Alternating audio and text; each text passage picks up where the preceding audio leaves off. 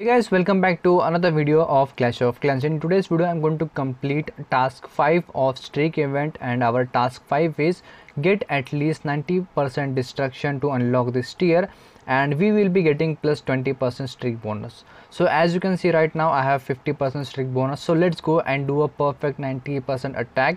Obviously, I'll try to do a 3 star attack.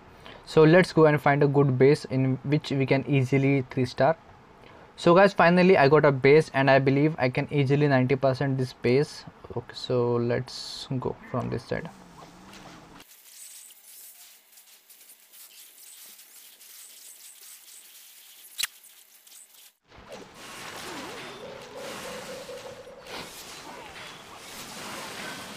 So guys as you can see i'm almost about to three star this base. Uh, even if you get 90 percent with at least two star your mission will get counted so there is no worry to like three star a base perfectly.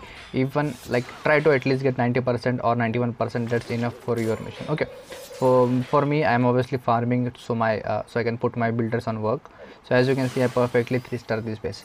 So let's go and claim our reward which is 20 percent streak bonus. And as you can see my cart is moving to task 6 which will be unlocked after 24 hours. And let me claim my uh, task 5 reward and as you can see my streak bonus is 70 percent.